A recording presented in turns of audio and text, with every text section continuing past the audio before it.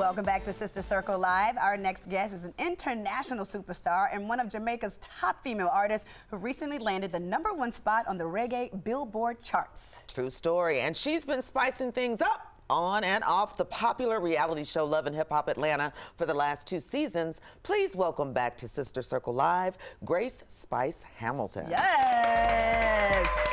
Come on, Spicy. All right. Oh, yes. on the white too. Yeah. a white thing. I know, right? Hello, darling. I'm loving that dress. I love that be look. Be careful. Be careful, ah. honey. We got to get to sitting down. Hello, darling. Mwah. Thanks for having me again. Yes. Please have a seat here. Blood. I mean, the purple pillow. Thank Hello, Miss Spice. Hey. Hey, welcome back. Thank you for having me. Absolutely, Again. absolutely. A lot right. has been going on since I you know, left right? us the last time. Let's talk about your new single, Black Hypocrisy. Talk a little bit about that and the meaning behind the song. Well, um, I did my single called Black Hypocrisy. Mm -hmm. That's from my mixtape Captured. I wanted to create awareness for colorism because um, in the black community, I believe that a lot of it's a lot of black people fighting against each other. Yes. So um, it's within our own race. There's a lot of hatred, people degrading each other because of the color, the skin, and stuff like that.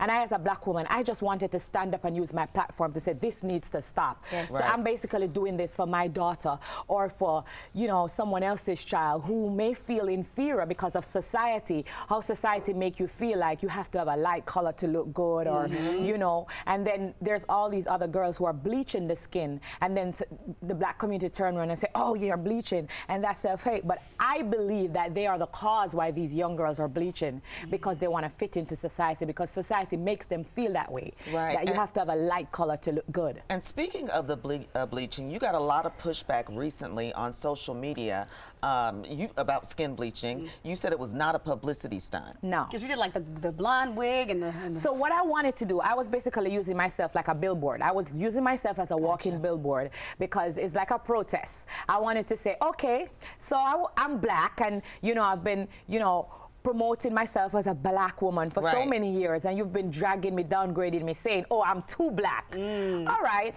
so this is what I, I did, you know, just to say to them, is this how you want to look? Or mm-hmm. is this beauty for you? Mm-hmm. And mm-hmm. that's really what the entire um, cause was about. So I wanted to, them to hear my message in my Black Hypocrisy song. That so this did is you what they're think causing. Did you think that you would get that much attention? Not at all. that? not at all. It, it- you know, it's per a worldwide debate that I was not expecting at all. You know, me just feel like in a Jamaica, 'cause you know I'm from Jamaica, I Right. would, you know, create that awareness in Jamaica and that it would just double there in my country. But little did I know that it would be such a huge thing. It was I, huge. I guess. Yeah. you know, I mean, I took all the posts off of my Instagram and I posted, um, I posted the picture. I really wanted to, you know, have a shock value Yeah. and have the world's undivided attention, but I didn't know that it would be so yeah. big. Yeah. It was Right. everywhere. Yeah, and so obviously you talked about growing up in Jamaica and having to, to, to face this, but it's a big deal in Jamaica for the skin bleaching now. It's a big deal because that's how society make you feel like you have to bleach to be on top. Yeah. So that's what's happening right now. That's why all the girls are bleaching because, you know, even the man, they make them feel like, oh, if you have a browner color, you know, they give you a name and they say brown in, you're popping. They Uh-huh. make you feel that way. And that's what, you know, I was trying to explain what society is doing within the black community. Right, and it's it's so funny how society can make people develop things. In Blac Chyna, she came out with a, a cream called White Whitenicious. Oh, my God. And how do you, how do you feel about that? The same thing. I can't she's believe over in. Nigeria, like just promoting this. Right. I'm against it. You know, I mean, uh, you know, why go to Nigeria where there's, you know, so much black, beautiful women and try So to sell this product? I'm, I'm, I'm totally against it. I'm not with it. I mean, I don't think, I don't think it's something that she had to do. Yeah. For she a could have used though. her, uh, she could have used her platform to do something else. And for Yeah. a coin, no, Yeah. I don't think so. Yeah. For me, that Blac Chyna sell out for that one, yeah. I just Ooh. became confused, you know. Hold on, hold on. She said, you know, the accent was thick. Okay, Right. You said Blac Chyna sell out for that one, no. that means she sold out. For sure.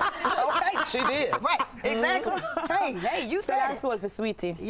Yes. That's okay to Jamaican accent. I Okay. love it, too. Okay, we love it. All right, so uh, you're coming up on another season of um, Love and Hip Hop. Like you guys are currently filming, right? Yes, they are, but They? What do you mean, they? But um, I mean, the show come back next year, so you just have to stay tuned Uh, to see if I'm coming back. Oh. You said they, which Yes. means not we. Well, Okay.